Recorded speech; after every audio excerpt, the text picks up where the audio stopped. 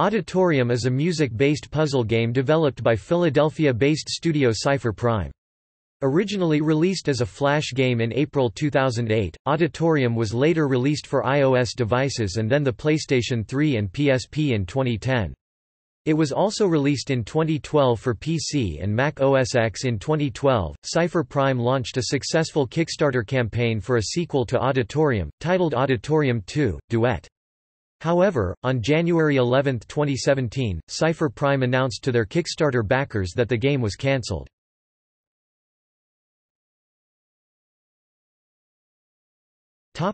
Gameplay In Auditorium, the player uses various game mechanics to bend streams of light particles to fill audio containers. As each of the audio containers is filled, an audio channel introducing an instrument or sound is added to the game's music. In most levels, the audio containers are a variety of colors which the particle stream must match in order to fill it. The player changes the color of the stream by manipulating it over fixed areas of the level which dye the particles as they pass through them. The goal of each level is to direct and split the stream in such a way that each audio container is filled simultaneously, revealing the level's full soundtrack. A variety of control points are available to the player, each of which modifies the trajectory of the particle stream in a certain way. In each level, the player is given a set selection of control points which they place in certain positions in the level. These controls include The directional control accelerates the particle stream toward a set direction. The attraction control attracts the particle stream towards it. The repulsion control repels the particle stream away from it. The rabbit control energizes the particles, increasing their speed.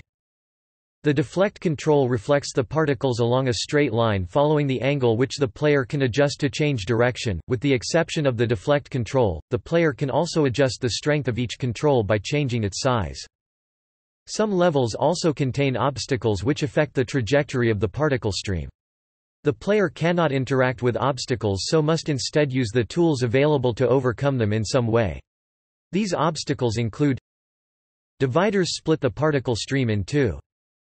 Black holes attract and destroy particles which touch them but can also be used strategically in a similar way to the attraction control. Portals provide a connection between two points in a level. Particles that enter one portal leave the corresponding portal at the same speed and angle that they entered.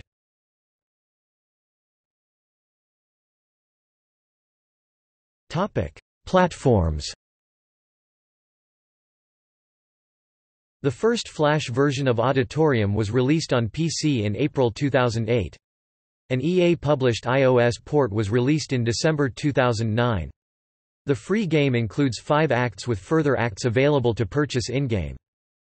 In November 2009 it was announced that Auditorium would be released for the PlayStation 3 and PSP as a downloadable title from the PlayStation Store. The PlayStation 3 version supports stereoscopic 3D gameplay and utilizes the PlayStation Move motion controller. The console version of the game was released in November 2010. An Xbox 360 version was also announced, to be released in the Xbox Live Arcade, but as of 2011, there have been no news on said version. On February 29, 2012, the game was also released on the Steam store for Microsoft Windows and Mac OS X.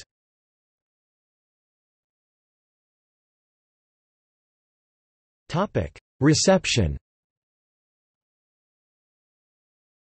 Auditorium received generally positive reviews, gaining an aggregate review score on Metacritic of 80 for the iOS version and 79 on PS3.